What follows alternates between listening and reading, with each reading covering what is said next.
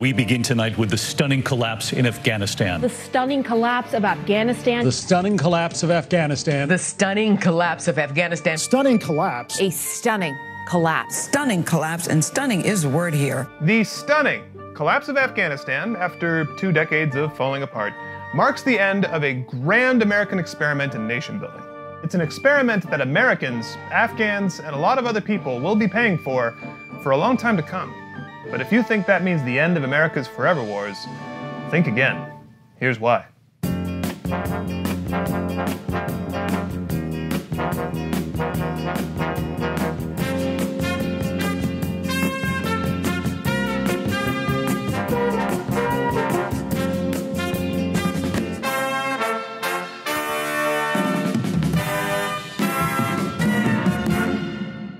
Way back in the year 2000, this guy ran for president campaigning against a thing called nation building. I just don't think it's the role of the United States to walk into a country and say, we do it this way, so should you. Maybe I'm missing something here. I mean, we're going to have kind of a nation building corps from America? Absolutely not. But life comes at you fast. And that same president took a very different view after 9 11. He went on to launch two of the longest wars in US history. So long, they became known as Forever Wars along with the wildest experiment in nation building America's ever tried in Afghanistan. Which, again, was the 180 degree opposite of what Bush just spent an entire presidential campaign telling us the military was for. Our military is meant to fight and win war. That's what it's meant to do.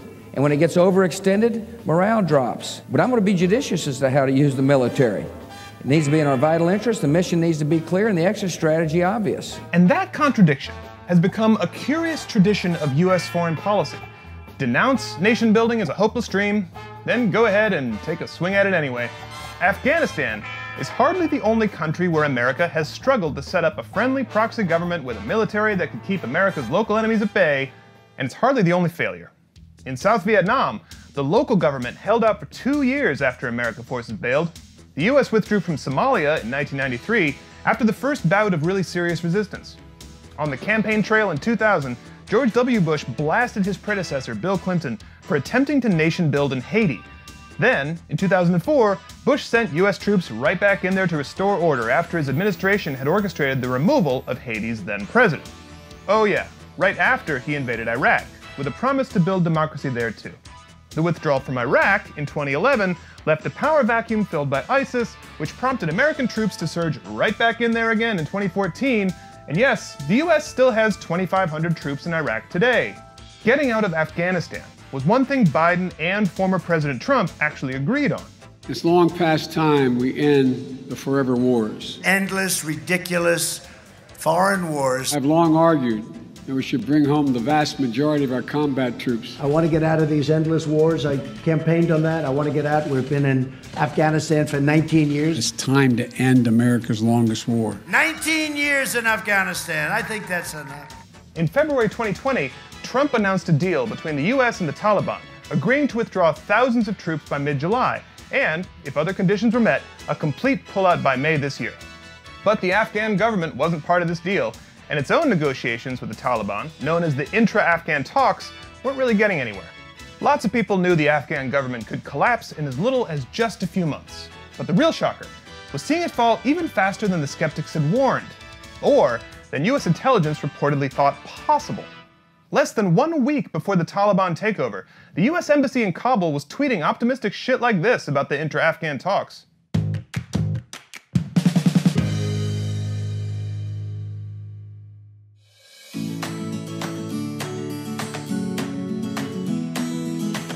سال با منای داشتن آزادی برای آموختن نه تنها از لحاظ امنیتی بلکه از لحاظ اقتصاد و سیاست و پیام من به گروه مذاکره کنندگان این است که در بخش تعلیم و تربیت توجه بیشتر داشته باشد Hashtag Peace Monday. Now, that same embassy has shredded its paperwork for safety reasons and been totally evacuated. After nearly 20 years, there were roughly 240,000 deaths directly resulting from the war in Afghanistan, which spilled into Pakistan. And so that includes more than 6,000 US service members and contractors, more than 24,000 Pakistani civilians, and more than 47,000 Afghan civilians. The economic cost to the US will be calculated for years to come.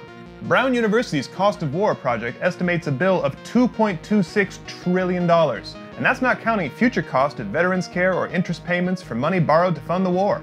And let's not forget, over $80 billion for a 300,000 strong Afghan army, which pretty much went poof overnight. The Taliban had such an easy stroll into Kabul, they seemingly had time to stop and check out a theme park in Herat while they were taking over the country.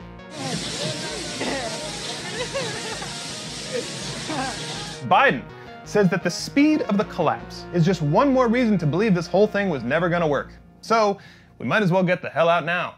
He aligned his administration with the same positions George W. Bush staked out 20 years ago on the campaign trail.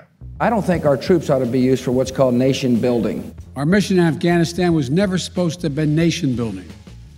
It was never supposed to be creating a unified, centralized democracy.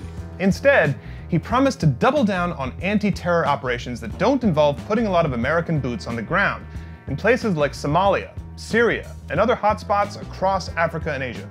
We conduct effective counterterrorism missions against terrorist groups in multiple countries where we don't have permanent military presence. You thinking what I'm thinking?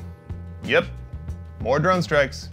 Luckily, shooting missiles out of flying robots is totally uncontroversial and has never ever misfired or killed any civilians. But the best part, from Washington's point of view, is that it's really hard for the rest of us to track, and Trump made it even harder than it was before. During his term, the US ramped up drone strikes in countries where it's not officially at war, like Yemen, Somalia, and Pakistan. And in 2019, he revoked an Obama era rule requiring US intelligence officials to publicly disclose how many civilians were killed by drone strikes outside war zones. When Biden took over, he imposed new temporary limitations on airstrikes outside actual war zones, meaning the White House needs to sign off on every strike, pending a review of the Trump era rules. But after Kabul fell, he sure didn't sound like the US is about to stop using drones anytime soon. We've developed counterterrorism over the horizon capability that will allow us to keep our eyes firmly fixed on the direct threats to the United States and the region, and act quickly and decisively if needed. This approach might be less headline grabbing than invading an entire country and holding on to its territory for a generation, but the consequences are damn real. As many as 16,900 people have been killed in US drone strikes and other covert operations since 2004 in Pakistan, Yemen, Somalia, and Afghanistan, including up to 2,200 civilians. In other words, ending the land invasion phase of this forever war doesn't mean the next stage is peace. It's probably more like Forever War 2.0, Forever War, the sequel, Part 2, the reboot, Two Forever, Two War. And it doesn't make a difference that this wasn't the original plan, whatever that was exactly. Once these things get going, they are damn hard to stop. As Bush's Secretary of State Colin Powell put it, no battle plan survives first contact with a real enemy. Or, to quote Mike Tyson, everyone has a plan until they get punched in the mouth. At least a boxing match only has 12 rounds.